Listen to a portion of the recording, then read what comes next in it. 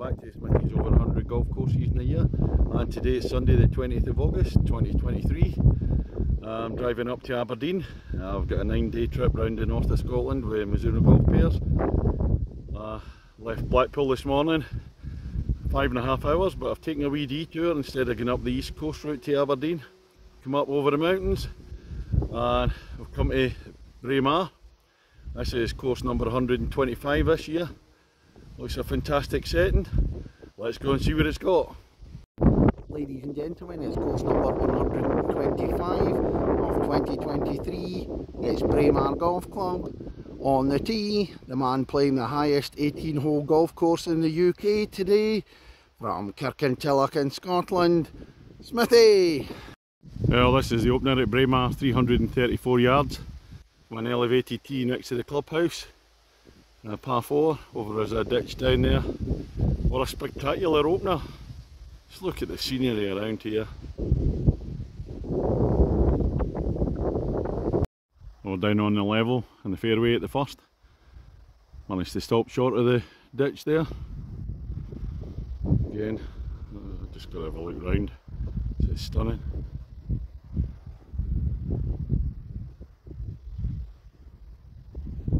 think the golf course is fairly flat. That's from that elevated tee at the first. And this is the first green at Braemar. You really don't want to overshoot the green here. Straight into the river.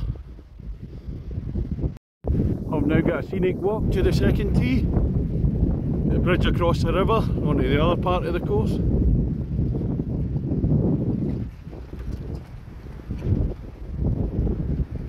It's a bit different.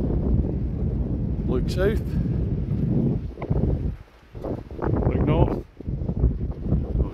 The second hole. Honey second at Braemar, I have to say it's another beauty. 364 yards. I get the river all the way on the right hand side. It's flat to start off with, then it's a big rise up, a big climb up to the green there, way up high. See if we can see it further down. There is, I'm not sure if there's any ditches on this one. And this is looking up to the second green, so it's a, a high shot, you don't want to be short or roll back down a bit of a ditch in the middle. I'm just to the left of the fairway, but looks like there's uh, actually water left hand and right hand side. Well, there's a lot of water on the right hand side with the river. I'm just up behind the second hole. It's just, oh, scenery's stunning. Having a look around. Well, it's the third hole. 146 yards, par 3, 10 into dip, and then rising up. Uh, the green's actually below the level of the tee.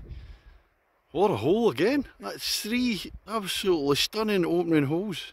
I'm hard pressed to actually remember a course where I've been so impressed with the, the first three holes.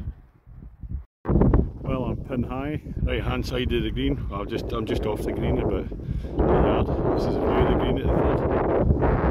It's two as well. There's a bank there in the middle. That's the fourth at Braemar, 376 yards. Again from the elevated tee, kind of going diagonally across. And apparently the seventh hole crosses this one. There's par 3 going across. So we're going down into the bottom corner. I'm back down on the level of the fourth. I'll go down to the green. Keep going straight. The bridge goes onto this part of the course again. Well this course is a par 65, 7 par 3s and the rest par 4s, no par 5s and people tend to assume oh it's going to be easy just because it's a, a par 65 but well here we go, look at this par 3, 231 yards, long way. I just forgot to mention this is the fifth hole. Now I've got the second of three consecutive par 3s and this is the sixth hole. 103 yards, so not very long and it's, uh, it starts off straight but then there it is on the plateau up there so technically it's an uphill par 3 but I'm not going to complain because it just looks really good. Nice challenge this one. Oh it's a tiny green at the 6th oh, what a shot. 6 foot away. Birdie opportunity Smithy ball on that dance floor?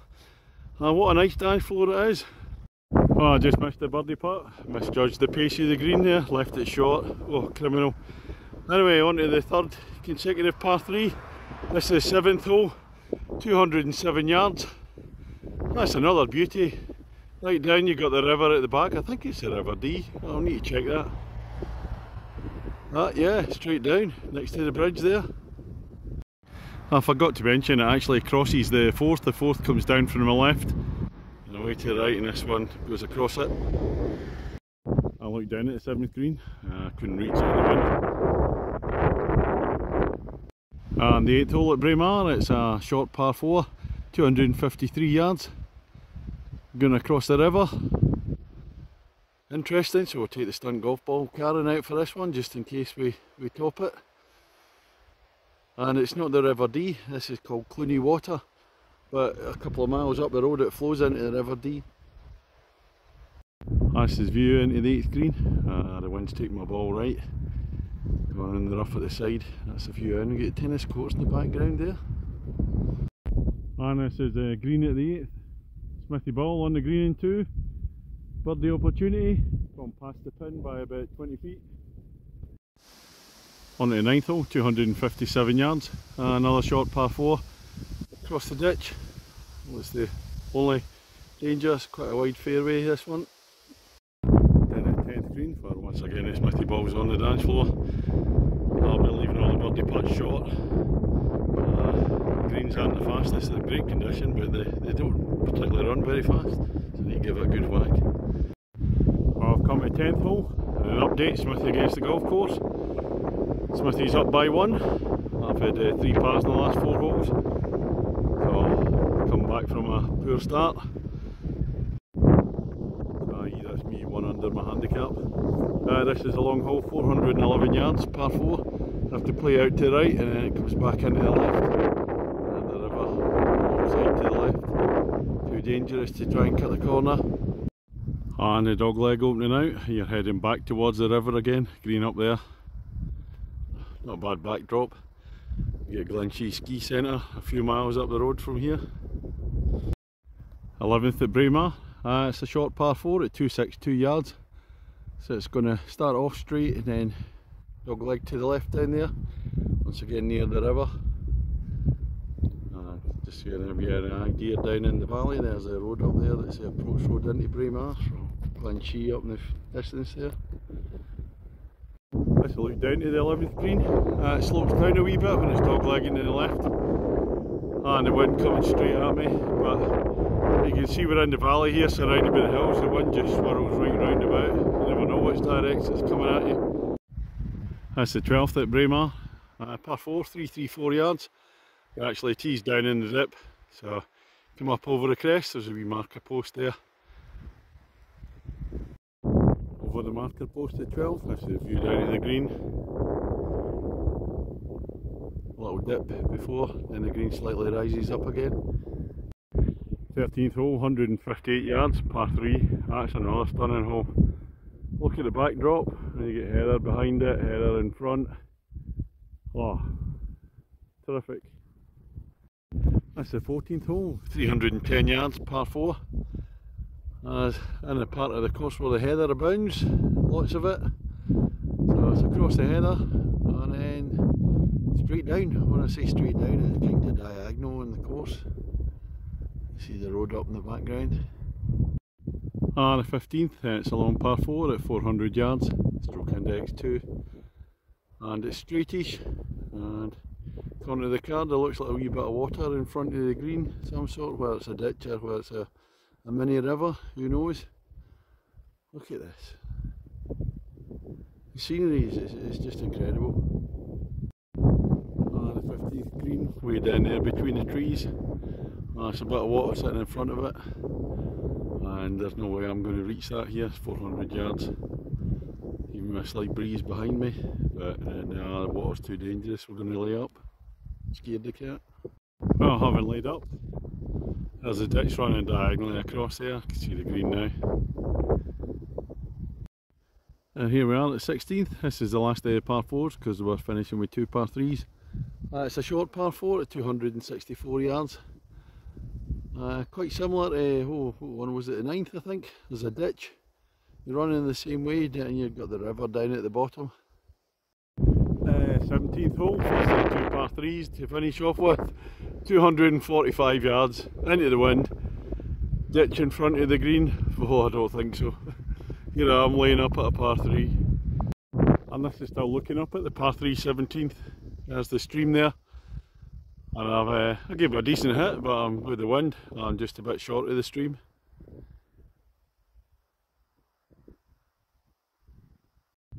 Well, believe it or not, my second shot at the par 3 was actually a 6 iron. Right into a stiff wind, and we'll put it dead. That's alright, I'll take the par, easy. Oh, here we come at the 18th, it's beautiful Braemar course. Well, it's another uphill par 3. Uh, it's on a plateau, so I can see the green. And I've absolutely loved the course, so I'm not going to complain. Uh, 122 yards, just got to get it up in the top level. which the score, Smithy, against the golf course? I'm still one shot up, so that means a bogey, a bogey for the win here. Let's do it. I'll pad the last two holes, so you can get a hat trick. Then, because I've finished, I won't be allowed to sing. Right, that's me finished in 18 here at Braemar. Wow, what a setting for golf. It's stunning. Oh, quite incredible. You just look about you the whole way around the course, take it all in. And the course itself, it starts out with three amazing holes. Absolutely fantastic. The first three, uh, a couple of par fours and a par three. And the rest of the holes, it looks as if it's going to be a wee bit plain when you first see it because it's all flat, but it's nothing of the sort. You go into bits with the heather, lots of ditches going around. Uh, the fairways are beautifully cut, you know, kind of a wee bit zigzagging the edges of them. They're wide enough but if you come off that fairway, you're not going to you have a job finding your ball. The grass is quite long. There's no semi-rough. Just off it comes. Right, where is it? The greens are really good. The whole course is in uh, mint condition. The greens don't seem to run very fast though. Although they're in great nick, uh, you've got to give the ball a wee bit of a push. Aye, it's relatively short. The par fours, there's some short par fours and there's a couple of big longer ones. Seven par threes uh, the par threes, the par threes are really, really good. There's not, a, you, you know, you might think, oh, par 65, oh, this will be dead easy. It's not. The wind swirls about in the valley and you see all the hills round about, which make, can make it a wee bit tough. I absolutely loved it. You know, it's quite quirky, just right up my street. It's going to be a big 10 out of 10 for me. So that's me just heading to Aberdeen now, and uh, we'll be at Murcar tomorrow. Good night.